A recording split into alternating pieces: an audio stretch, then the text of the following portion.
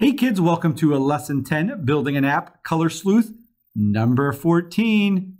Challenge, pick a way for the game to end and implement it. Your challenge now is to add some code completely on your own. Use what you've learned so far and Alexis and Michael's discussion to help you. This is the last programming level.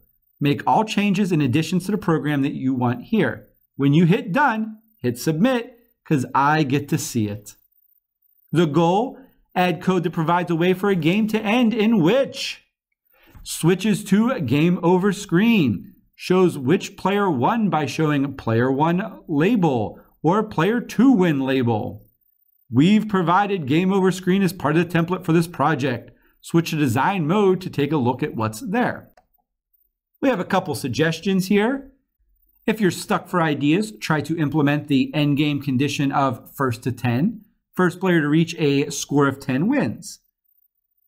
You should use the, the suggestion from the discussion add a function like check game over and call it from check correct. And we have a little extra options here. We'll come back and look at this at the end once we are done.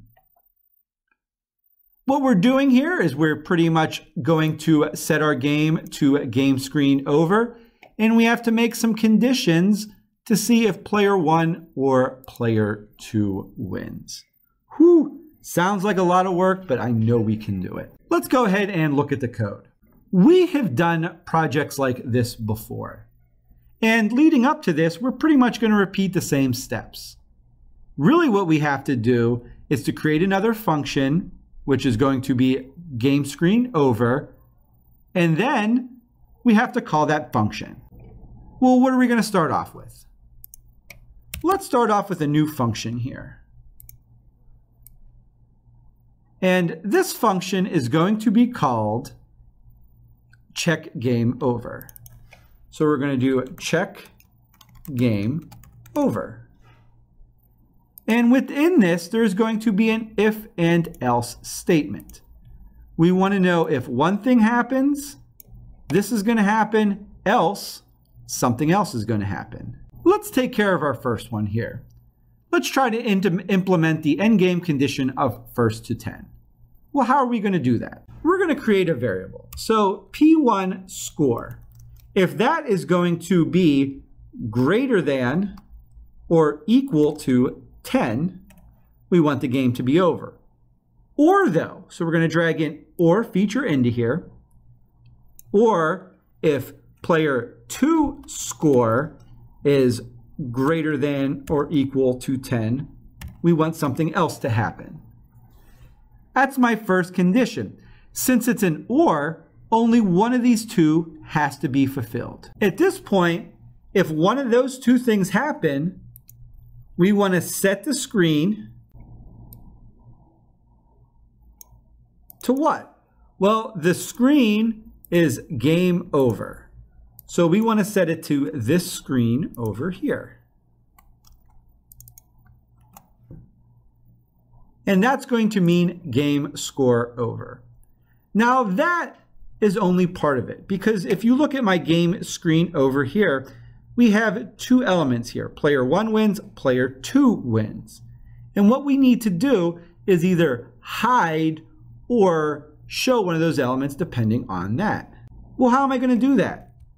Well, I'm going to nest my statement. So I'm going to do another if statement here. And this one is going to say if P1 score is greater than P2 score, if that's happening, we want to show element. And the element here is, if we go to our design, player one win label. So we want to show that element.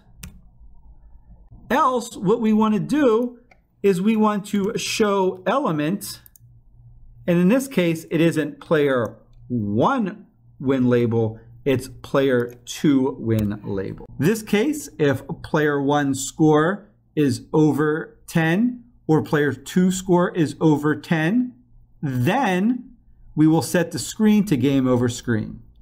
And then we nested this in here. if player one score is greater than player two score, we are going to show the element player one wins label. Else, we are going to show element player two wins label. And over here, we have some, these haven't been declared. Well, let's just put these in some quotes here, and that will take care of that. We still have one thing to do though. It's saying, hey, this hasn't been declared yet. So we have to declare our check game over here. Well, where are we going to show that at? If we go up here to our check correct, we have our set board, switch our player. Well, let's say we want to do our check game correct, then set the board, then switch the player. So it's automatically always checking to see if someone wins. This makes sense in my head. Let's try out this code. I'm to hit run. And I'm just going to keep picking the right color here, even though this is really hard for me, until we get up to 10. We could have made this a smaller number for um, Ooh, I don't know what this one is. For our testing purposes, and you can see how many I'm getting wrong here. I am not a good color picker, -er, but we're getting close. I think that's that one. Woo! I'm starting to get nervous here, kids. Here's the big one. Player one wins, player two wins, but they're both highlighted. Really, we have to show one element and hide another element. So let's go ahead here and let's change that up. So show element player one wins, and we are going to do hide element. And let's just copy this one down here of player two wins label. We have to do this in reverse down here. So we hide elements. And in this one, this is going to be a player one label. Let's make this a little easier for us. Let's just do five right here so we're not clicking all day.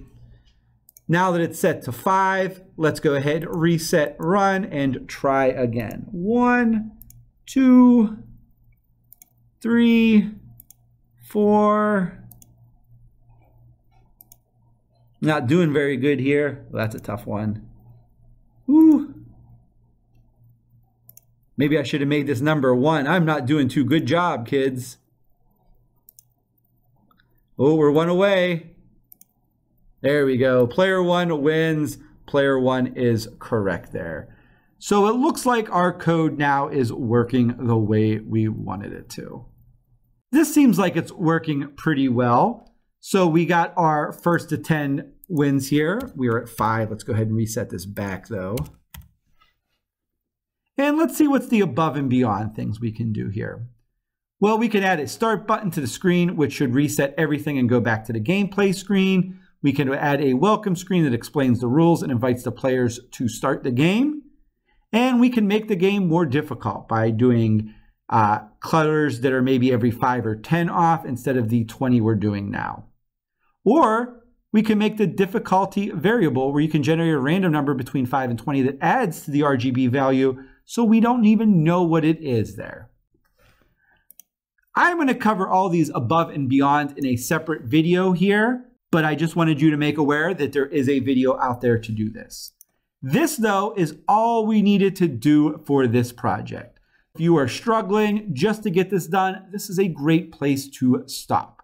But I have some excellent coders in class, so I am expecting you to go through these above and beyond. And if you have trouble with that, please check out that video. Looking back up here, I think we've done all of the requirements for this lesson. We went ahead and switched to a end game screen, and we showed which player won by hiding or showing a label. Again, there is some above and beyond that is covered in a, another video. I hope you check that out. But for this, this is all that we need to do. On this example, there's nothing for code to check. Once you hit submit, it's going to come to me for grading. If you make an error, please just email me. I can unsubmit it and you can work on it again. I am really excited to see what you're going to do for me, kids. Good luck. And if you have any questions, please ask. I know this was a hard lesson, but I know you've done a great job. All right. Can't wait to see what you got, kids. Good luck.